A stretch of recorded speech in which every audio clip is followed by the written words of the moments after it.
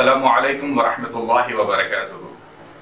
ناظرین اکرام، اللہ تبارک و تعالی اپنے کلام پاک میں ارشاد فرماتے ہیں، ذالک فضل اللہ یؤتی من یشاء۔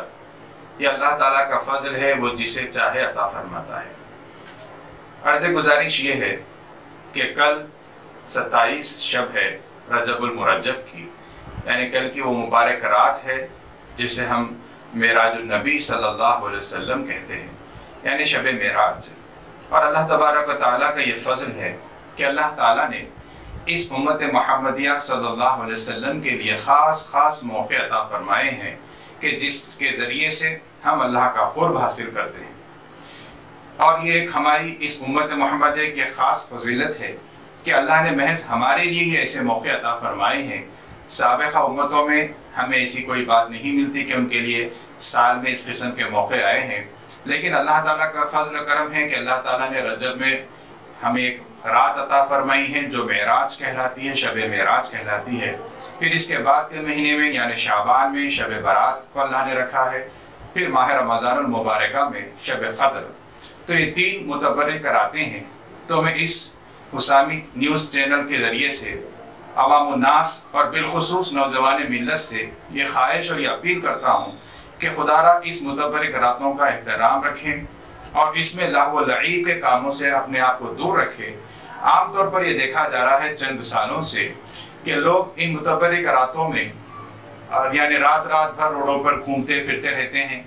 بعض نوجوان ہر شخص اس میں ملوث نہیں ہوتا ہے، لیکن جو دین سے وقفیت نہیں رکھتے ہیں یا دین سے جن کو دوری ہے، دینی معلومات ان کو نہیں ہے، وہ اس قسم کے کاموں میں رات کو گزار دیتے ہیں۔ یا تو ہوٹلوں کے اطراف یا چبوتروں پر، یا پھر ایک نئی چیز آج کل ہم یہ دیکھ رہے ہیں کہ اس مبارک رات میں خاص طور پر نوجوان نسل گاڑیاں تیز چلاتے ہوئے روڈوں پر یعنی بالکل بد اخلاقی کے مظاہرے کرتے ہیں۔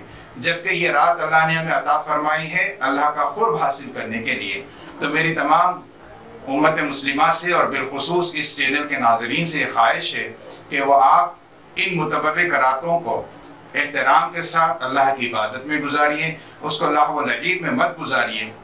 اس لیے کہ حدیث شریف میں آتا ہے کہ اللہ تبارک و تعالیٰ کل روز محشر ہر انسان سے اس کے عمر کے بارے میں یعنی اس کی زندگی کے بارے میں سوال فرمائے گا کہ میں نے تمہیں زندگی دی تھی، کس طرح سے گزارے؟ تو لہذا ہم کو چاہیے کہ یہ جو عمر اللہ نے ہم کو دی ہے، اس کو اللہ کا قرب حاصل کرنے کے غرض سے اور اللہ کی عبادت میں ہم اس کو صرف کریں۔ اور چونکہ یہ ایک ایسا موقع اللہ تعالیٰ ہم کو عطا فرماتا ہے، جس کے ذریعے سے ہم اپنے گناہوں کی بھی معافی اللہ سے کروا سکتے ہیں، اور ساتھ ہی ساتھ اللہ کی قربت بھی ہمیں حاصل ہو سکتی ہے۔ تو عمر کا خاص خیال رکھے اور لمحات کی حفاظت کرے۔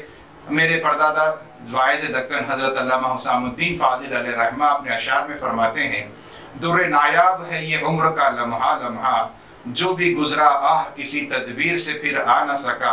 کام میں لاؤ تو ہیں اس کے فوائد کیا کیا، اور جو کھو بیٹھو تو پاؤ نہ ندامت کے سوا۔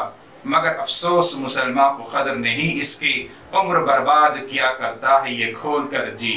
یعنی معلوم یہ ہوتا ہے کہ حضرت نے آج سے ساٹھ پینسٹھ سال پہلے اندازہ فرما کر یہ اشعار لکھے ہیں کہ بعض نوجوان ان مبارک راتوں میں بھی لاہ و لعیب میں یا پھر دنیاوی معاملات میں اس رات کو گزار دیتے ہیں، ایک خاص بات عرض کرنا یہ ہے، چونکہ ہم ان متبرک راتوں کو جاگنے کی رات سے تعبیر کر دیتے ہیں۔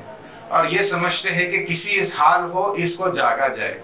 لیکن جاگنا عبادت کی غرض سے ہو تب وہ عبادت کہلاتا ہے۔ وہ جاگنا نیکی میں شمار کیا جاتا ہے۔ ورنہ اگر ہم ایسے ہی کھیل کود میں، تماشوں میں رات کو گزار دیں، تو پھر اس سے بہتر یہ ہے کہ ان متبرک راتوں میں گناہ نہ ہو۔ لہٰذا آرام کر لینا بہتر ہے۔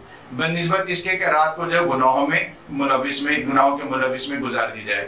لہٰذا میں آپ تمام سے یہ خواہش کرتا ہوں کہ ان کی متبرک راتوں کا خاص خیال فرمائیں اور اس مبارک رات یعنی شب معراج کا ایک خاص وظیفہ، جسے نبی کریم صلی اللہ علیہ وسلم نے ہمیں بتلایا ہے کہ جب حضور آقا صلی اللہ علیہ وسلم ساتویں آسمان پر تشریف لے گئے تو وہاں پر آپ نے حضرت ابراہیم علیہ السلام سے ملاقات فرمائی۔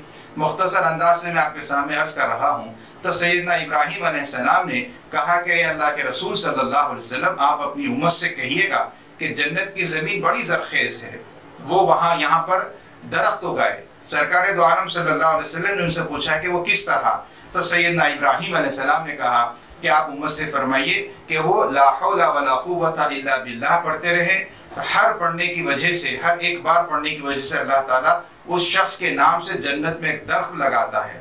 تو انشاءاللہ یہ ہم اس کی کوشش کریں گے کہ آج کی اس متبرک رات کی یہ خاص وظیفہ ہے کہ جسے حضرت ابراہیم علیہ السلام نے ہمیں بدلایا ہے۔ اور بھی اس کی بہت سی فضیلتیں آئی ہیں۔ حدیث پاک میں آتا ہے کہ اللہ تبارک و تعالیٰ نے ان کلمات میں یعنی لا حول ولا قوت الا باللہ اس میں اتنی برکتیں رکھی ہے کہ حضور نے ارشاد فرمایا ہے کہ ستر سے زائد بیماریوں کا اللہ نے اس میں علاج رکھا ہے۔ اور سب سے کم بیماری جو کم چھوٹی بیماری وہ ہے غم کا دور ہونا۔ تو اس کی کثرت کرے اور ایک حدیث شریف میں یہ بھی آیا ہے کہ یہ جنت کے خزانوں میں سے خزانہ اللہ تعالیٰ نے ہمیں عطا فرمایا ہے۔ تو بہرحال میں پھر ایک مرتبہ گزارش کرتا ہوں کہ خدا را اس ممکن متبرک راتوں کا خاص خیال رکھے، ان کا ادب و احترام رکھے اور اس میں اللہ کی خوشنودی حاصل فرمائے۔ وما علینا الا البلاغ۔